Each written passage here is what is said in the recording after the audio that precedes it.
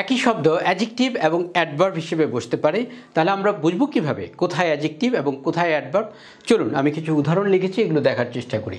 দেখুন, প্রথমে আছে দ্য ওয়ার্ক ইজ হার্ড তাহলে এই হার্ড শব্দটা, এটা কি? এটা কি অ্যাজেক্টিভ নাকি অ্যাডভার্ব এটা হচ্ছে এখানে অ্যাজেক্টিভ কারণ কি?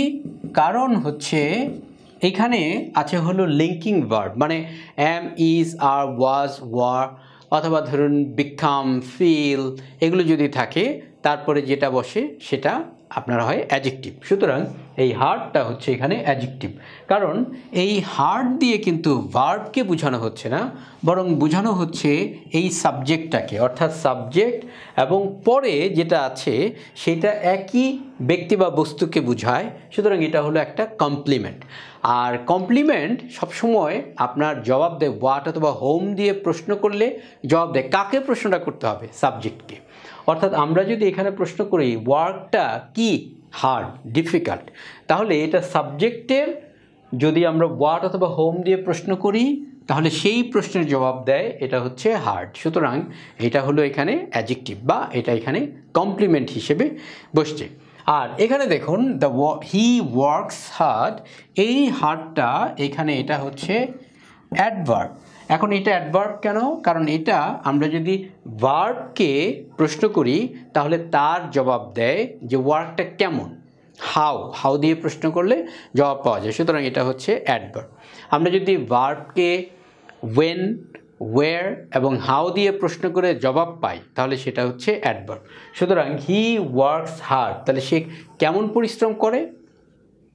অনেক পরিশ্রম করে। মানে হি ওয়ার্কস হার্ড সুতরাং এটা ভার্বকে মডিফাই করেছে, সুতরাং এটা হলো অ্যাডভার্ব এখন, যদি সিম্পলি বুঝি আমরা, তাহলে আমরা বলতে পারি লিঙ্কিং ভার্ব মানে am is are was were এগুলোর পরে যদি বসে, তাহলে সেটা অ্যাজেক্টিভ আর যদি মেইন ভার্ব যেটা দিয়ে কাজ করা বোঝায়, সেরকম যদি কোনো কিছু হয়, সেরকম যদি মানে অ্যাকশন ওয়ার্ড যেগুলো থাকে অ্যাকশন ভার্ব যেগুলো হয়, সেই অ্যাকশন ভার্বের পরে যদি বসে, তাহলে সেটা হবে অ্যাডভার্ব অনুরূপভাবে এখানে দেখুন ইউ আর লেট এখন এই লেটটা এখানে কি? সিম্পলি এটা হচ্ছে এখানে অ্যাজেক্টিভ কারণ এখানে আমাদের আছে হলো আর মানে লিঙ্কিং ভার্ব আর এখানে আছে হলো মেইন ভার্ব সুতরাং এই লেটটা হবে অ্যাডভার্ব তাহলে মূল কথা কি দাঁড়াল?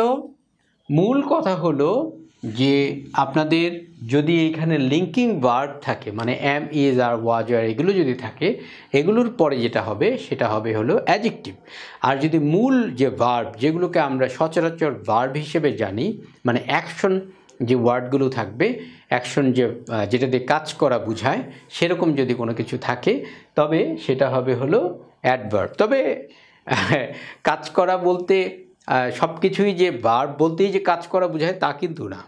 হুম? তো আমরা সাধারণত সচরাচর যেগুলোকে বার হিসেবে মনে করি, করা যাওয়া, খাওয়া দাওয়া, সেগুলোর কথা মেইন করছে আর কি, অর্থাৎ যেগুলো হচ্ছে অ্যাকশন বোঝায়। সেই অ্যাকশন বোঝানো, কারণ বার্ব কিন্তু শুধুমাত্র অ্যাকশনই বোঝায় না। বার্ব অ্যাকশন বোঝায় স্টেট বোঝায় ইভেন্ট বোঝায়। তো যেগুলো দিয়ে অ্যাকশন বোঝায়, সেগুলোর পরে যদি থাকে, সেটা হবে হলো অ্যাডভার্ব তাহলে সিম্পলি লিঙ্কিং বার্বের পরে থাকলে অ্যাজেক্টিভ আর মেইন বার্বের পরে থাকলে অ্যাডভার্ব আশা করি বুঝতে পেরেছেন। ধন্যবাদ।